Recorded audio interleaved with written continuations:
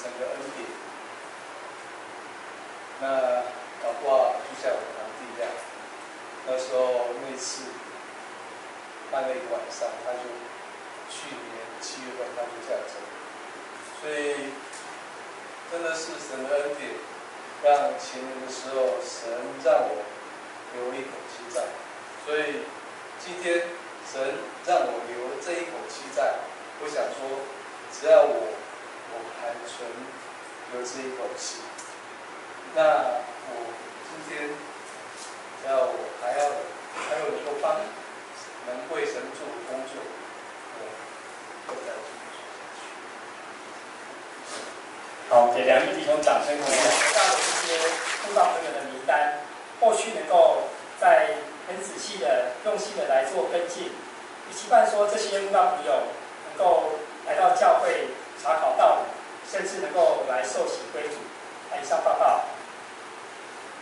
好的，嗯，这次的公益是都非常平安顺利哈。那因为有资深的学姐带带领这样子，那所以所以所有的工作都做得非常的顺手这样子。虽然说我们刚刚已经是最后一个收拾了哈，那可是他们都不公布嘛。好，感谢主，我们这些工都非常好，谢谢。好的呀。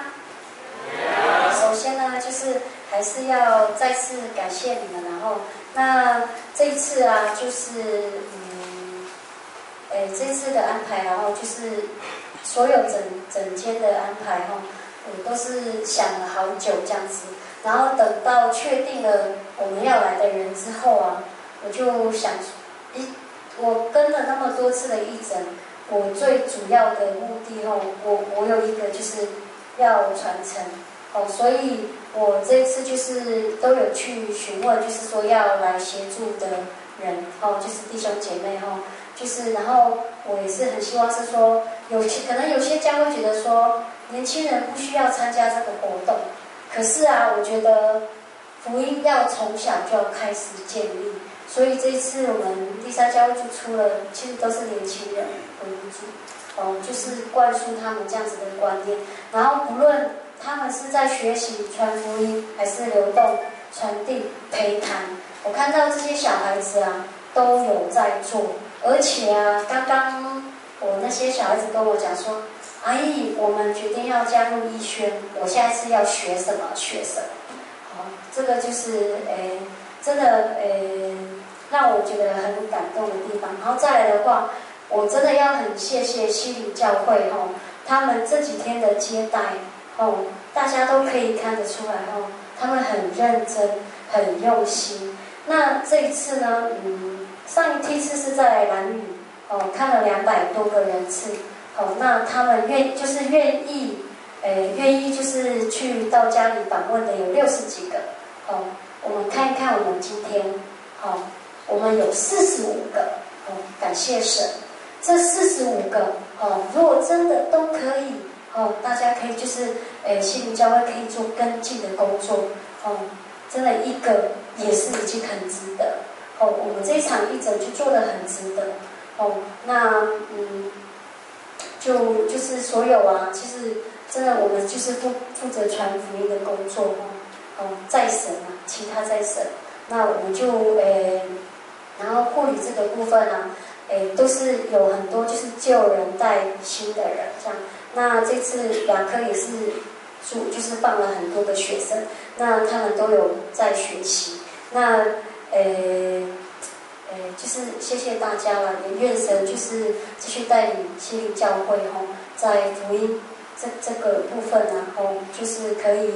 看这次来后，我们有各教会来就是协助传福音的工作，从的教会也来了。那你们看到多少？哦，你们吸收到多少？哦，那你们可以在自己在传福音的时候，可以用什么样的方式？我想有在看的人，有放在心里面的人，哦，一定会做得更好。那愿愿神带领，就是新教会这边的福音的开拓工作。那诶，我也谢谢谢谢，就是教区这样子的协助，还有就是我们华南小区，然后。也就是全力的来支援这样子的工作。我们要做一个义诊啊，真的要动到一个小区的就是人力哦，物力师。其实我们这次的食物啊，哦，我们在开会的时候也有讲到说啊，我们教会就是各教会啊，你们可以出什么，出什么可以，我们就可以减轻一点，就是买菜的那种吼。然后，所以我们所有吃的伙食吼，就是都是各教会来的爱心都有哦。那这就是我们东北区在做义诊的时候是这样子的一一个状况，这样。那诶，愿神纪念大家的辛劳，哦，前来东北区这个偏向的地区来协助这样子的义诊。那我的报告就到这边，谢谢。这种坚强，啊，我们很多人真的感谢啊，在谢谢我们花兰小区啊，在事前的一个做的一个准备他们利用两个星期的时间啊，到。各个家里面做宣传啊，所以我们福音组到各家庭的时候，诶，我们都有看到，我们都有收到，哦，都知道啊，只是我们点一下说，也许，今天哦，今天上午或者今天下午啊，我们有在哪个地方有义诊哦，直接跟他讲，所以他们都很乐意啊，很能够接受，表示说我们花兰小区都已经做好事前的准备，哦，真的感谢主哈。那我们福音组哦，每一间每一家哦，都去啊要拜访啊。当我们在拜访的时候，哎，我们碰到的啦啊，很多他说你我们本来就是假说我们是喜庆爱心一整团哦，来这边哎这什么做义诊啊什么这样的。然后当当他们看到那个单子，真主教会。然后有的就很用很不屑的眼光说：“哎，他们还是有一些些在在宗教上的一个，哎排排挤的哦，哎你是基督教，我是基督长老教，我是天主教哦，还有一些些的好像啊很不愿意接受哦，也有这样子的啦啊，我们像我们到建庆啊，也是讲说我们在分发的时候，哎你们是呃慈济的吗？哦啊，这样讲直接我们是直接讲我们是真耶稣教会的。”哦，然后来这边做义诊，哦，就跟他做介绍，哦，邀请他们，啊，所以在这里面哦，我们福音组的同工真的很辛苦啊，都是抗日英雄，哎，在太阳底下这样行走，啊，没有做准备，没有戴帽子，啊，我们本来是白的变黑的，感谢主啦，这个是神的恩典啊，我也觉得说能够踏出这个福音的。啊，这个脚步哦，这是我们福音组啊一个吸取经验的一个地方哦，啊，能够啊让一个人啊听到这样的信息，一个福音，呃，真的也是我们大家啊辛苦努力的一个地方啊，啊，希望啊祈求主主耶稣能够带领啊我们西定教会这边的圣工哈，啊，还有我们花兰小区啊他们的新郎。啊，愿神啊纪念啊，愿一切荣耀归给天上的真神。好，谢谢林执事哈。那张恩在吗？张恩有点紧张，因为我知道我要讲新的。那我因为我本来就很想要参加选，那这确实有听说，那就是我一直把这件事情放在心中，我向神祷告。那也很感谢，就是。立马就有机会是让我来参加这次比赛。那其实就还不错，就是从这这几天啊，然后就是一直跟着那个小军姐姐在旁边学习，然后然后我在那个记录那边就其实是蛮轻松的，算轻松，所以有时候就会有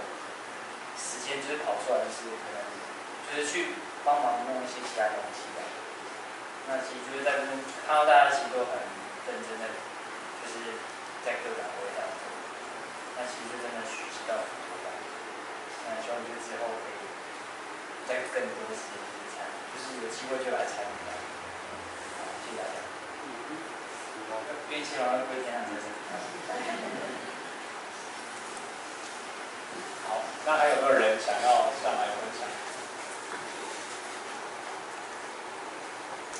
我们一起看，从第二节看到第五节。好，提摩太后书第四章第二节到第五节。第二节说：“勿要传道，无论得时不得时，总要专心，并用百般的忍耐，各样的教训，责备人、警戒人、劝勉人。因为时候要到，人必厌烦纯正的道理，耳朵发痒，就随从自己的情欲，增添好些师傅，并且掩耳不听真道，天下荒谬的言语。你却要凡事谨慎，忍受苦难，做传道的功夫，尽你的职分。阿门。那我觉得呃这几个经节其实很适合我们呃常常拿起来勉励自己。我记得我上一次在园林的时候有提说，希望我们可以像说在针灸的时候，有些病人因为害怕等很久，